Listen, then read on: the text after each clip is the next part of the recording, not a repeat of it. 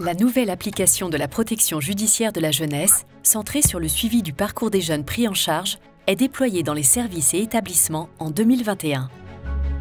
Michael, 16 ans, est déféré au tribunal après avoir commis une infraction. L'éducatrice de permanence accueille Michael et recherche son identité dans Parcours. Après l'évaluation éducative, le magistrat rend une décision judiciaire. Il ordonne une mesure éducative. La mesure est affectée à un service de milieu ouvert de la protection judiciaire de la jeunesse.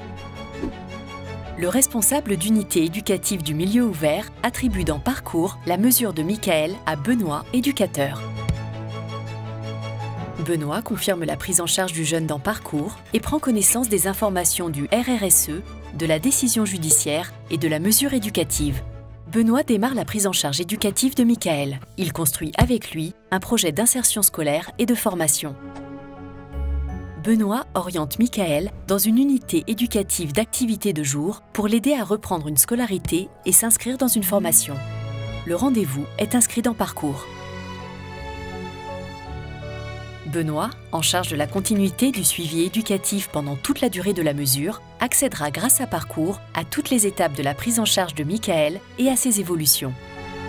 Par exemple, si Michael ne respecte pas les rendez-vous fixés avec l'éducatrice de l'unité éducative d'activité de jour, s'il rencontre des difficultés dans son milieu familial, si une décision de placement éducatif est prise, si son placement se passe bien, s'il reprend une scolarité grâce à l'accompagnement proposé par l'unité éducative d'activité de jour, s'il s'inscrit à une formation professionnelle et obtient un diplôme, quand il est prêt à trouver un emploi.